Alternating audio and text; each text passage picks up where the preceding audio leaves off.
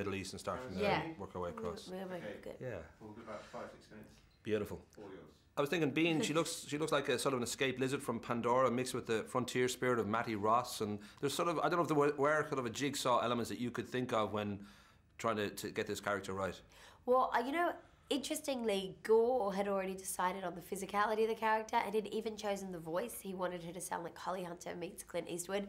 So for me, as an actor, I didn't have to create anything. I just stepped into his shoes and tried to facilitate the uh, the lizard that he wanted. Well, I was thinking, in a way, you know, Gore and, and Johnny are buddies from Pirates days, and and then- and then also John Logan, who, who did Sweeney Todd with, with Johnny's there. Did it feel like you were kind of entering into their party? Because I'm guessing, in a way, they'd sort of fairly much formed what they wanted to do before they approached people. Um, no, you know what? They, everybody, you know, he, he Gore created such a. It, it was not inclusive environment. You know, it wasn't as if you know they had their own shorthand and we weren't included. It was nice. Eh, you know, it, it was a surreal experience, definitely, because there were. You know, there was Bill Nighy pretending to be a snake, and Johnny Depp walking, you know, like this weird lizard, and um, but I, I thought it was creatively one of the greatest experiences I've had. Once I got over my initial nerves about having to, you know, act opposite Johnny Depp, I just would arrive at work in my sweatpants, pick up a prop or a hat, a costume, something that would help me for the scene, and and just get on with it. It was great.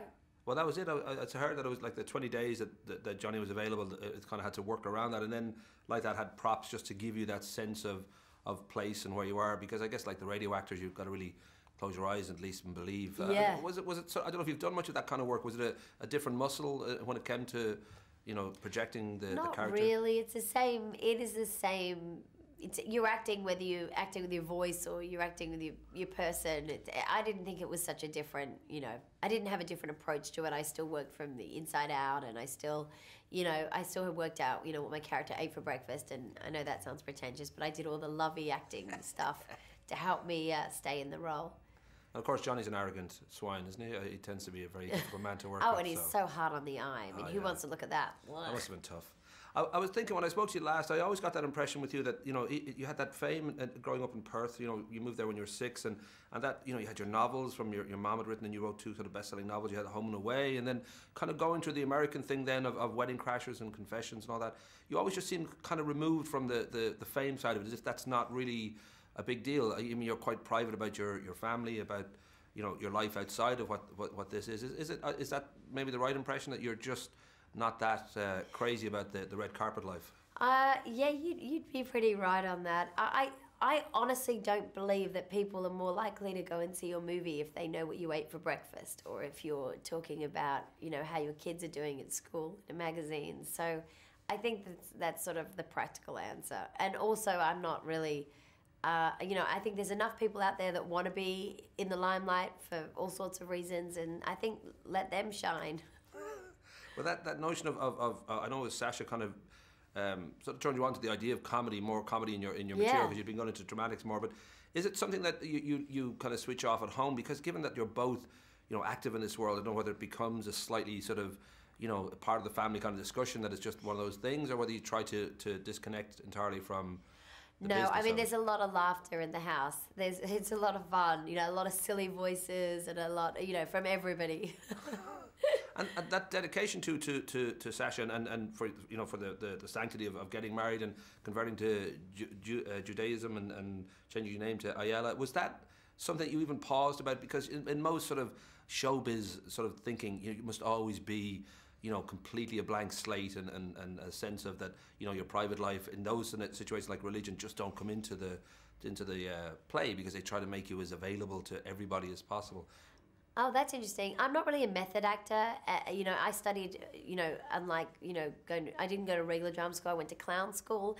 And a lot of that is, a, you, you know, you kind of work from the outside in and, you know, so I don't tend to do that much, you know, that, that kind of work, you know, for my characters. And so uh, I haven't let my personal life sort of affect my professional life in, in any way.